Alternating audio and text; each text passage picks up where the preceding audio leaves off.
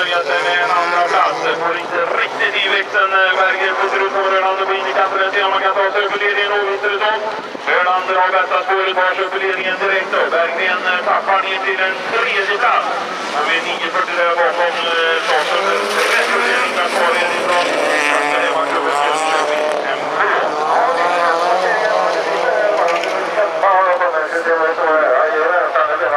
Yeah.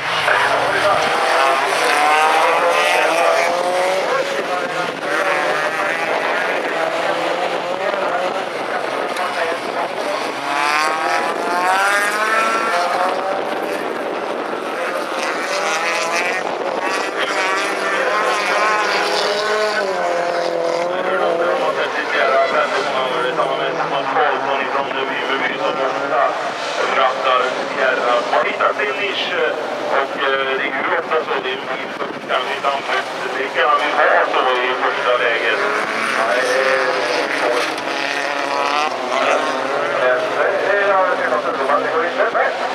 Ingen på våran gård. Det är ett,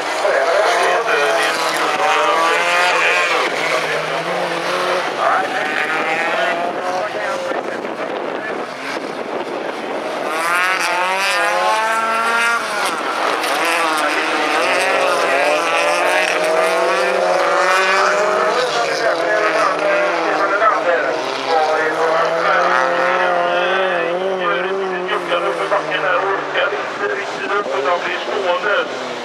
Ja,